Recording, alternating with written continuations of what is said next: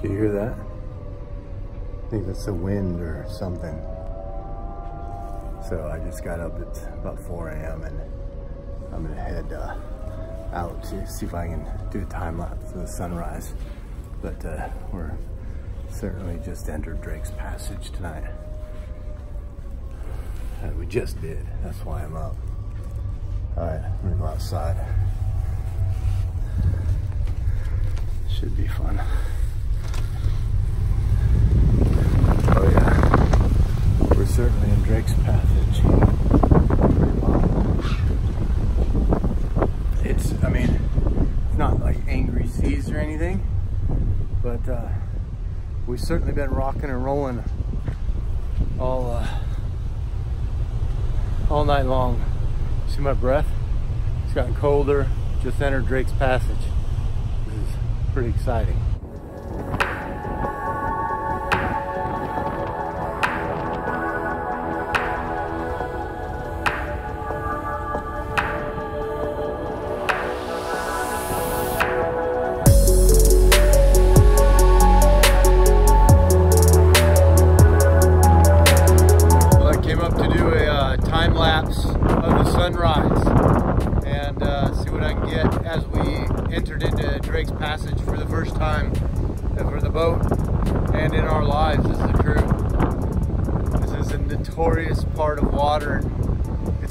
Calm today, but there is no time lapse of any sunrise occurring now or the foreseeable future today.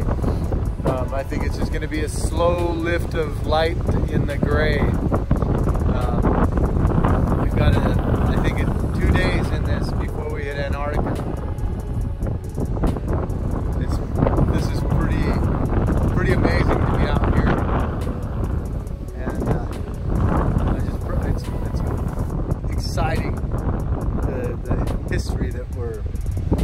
shipping across right now. I'm just imagining the tall ships with Horace, Drake, Magellan.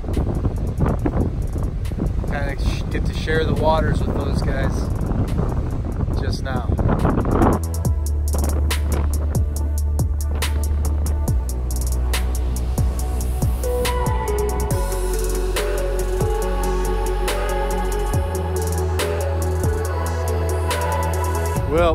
Think there's a job to do up here this morning.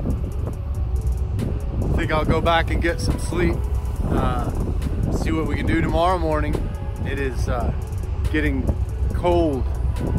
Uh, it's not frigid, but uh, it's just when the wind picks up a little. Uh, my hands are cold holding the camera you know, a little bit. It's not bad yet, but it sure has changed overnight. I was up here in a t-shirt yesterday.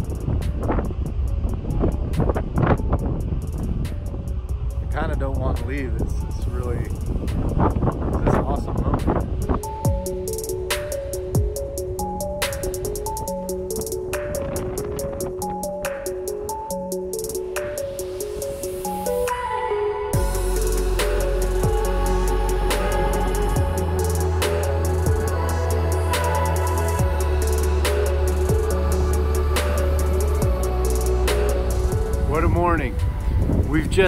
Headed due south, taking a turn in Drake's Passage, headed straight for Antarctica.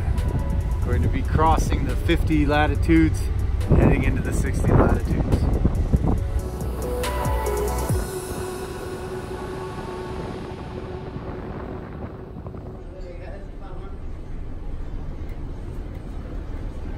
Morning, folks.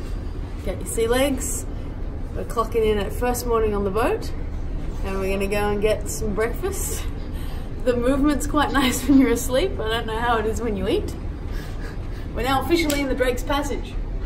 We're in open, open, rough waters, and that happens every now and then. We've been told to take great care of fingers indoors because with this momentum, the doors being particularly heavy will close. In fact, people have even cut their thumbs off. So, But it's a good idea to sanitize. Germs on ships are a thing. Yes, right. Morning. Fun, I guess. If you like feeling drunk in the morning.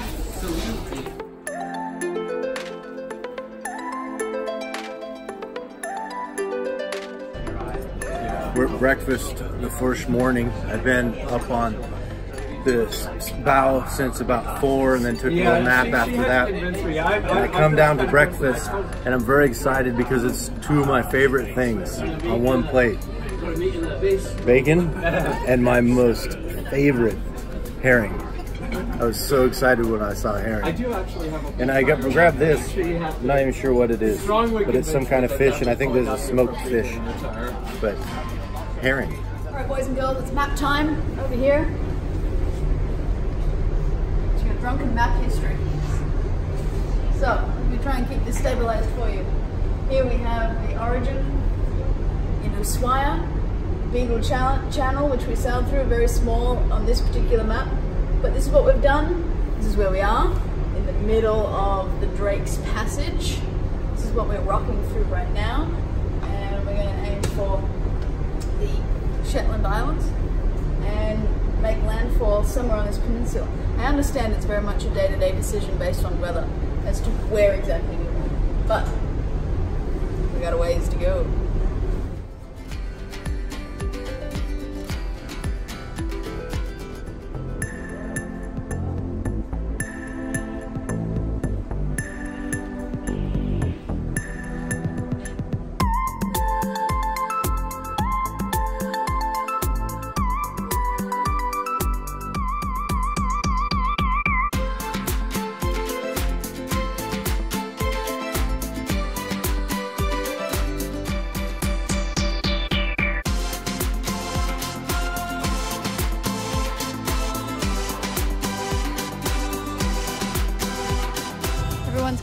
Excited because we someone spotted an owl out here.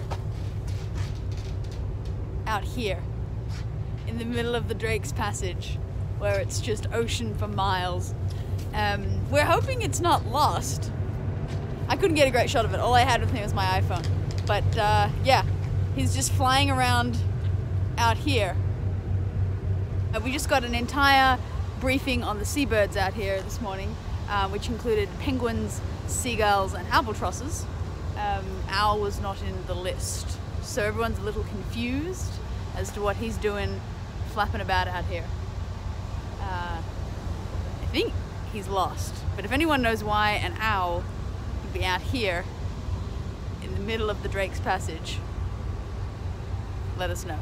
So I spoke to the ornithologist just now to figure out why there's an owl out here Sadly, he's overshot. He's just a barn owl that um, doesn't have a, a long uh, migratory pattern and he's supposed to come down to South America, at most get over to the Falkland Islands. There's a small population of them uh, over there. Um, but we're about 700 kilometers away from the mainland right now. And uh, he reckons that that might have been a deadly mistake for that little barn owl. He did say it is kind of customary for these birds to spread out a lot and it's kind of in their system to calculate for some loss. Um, it's a bit of a, a, breeding risk really. If some of these little young guys can fan out and find other, other owls from the main population then that's a, a breeding win. Um, but this guy took a risk. I think that was the last we'll ever see of that owl. So there you go crew delivers more unusual experiences yet again.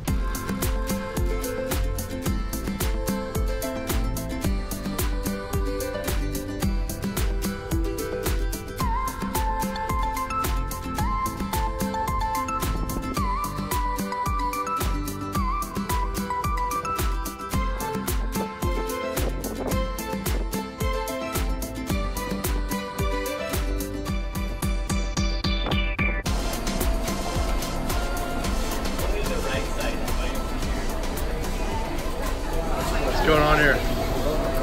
So we're doing a bio update letter. That's gonna be so loud.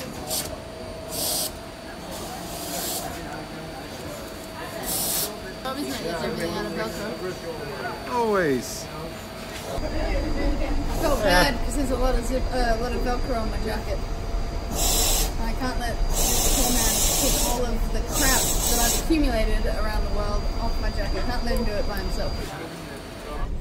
We just completed the biosecurity, which is necessary to uh, basically land on Antarctica. There's only two types of plants that grow down there, so they're very concerned about bringing in other seeds from other parts of the world. Although the guy did say it's actually not from um, tourists that most of this stuff gets down there, it's tour guide operators, scientists, and photographers. So we are the main culprit for bringing in seeds because we travel around the world so much.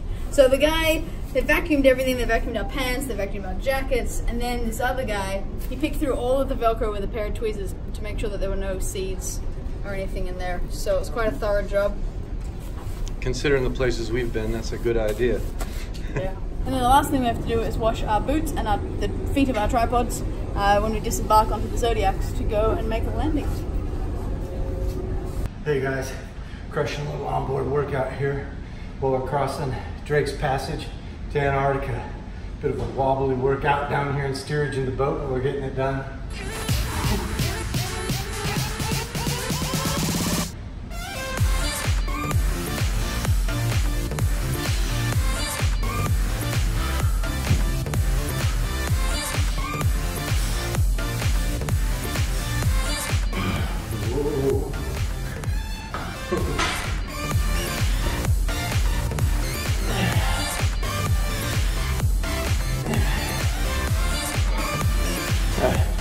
It is tough to do weights in here. Squats, anything legs is hard, but also flies because your weights are going backwards, forwards. All right, guys, that's a workout. That was a good one. Nice 30 minute little crusher, upper body, a little bit of legs. That was tough to do, but uh, we'll, uh, we'll do some more tomorrow. Try a few machines. And that is the workout from the bottom of the boat on the way to Antarctica.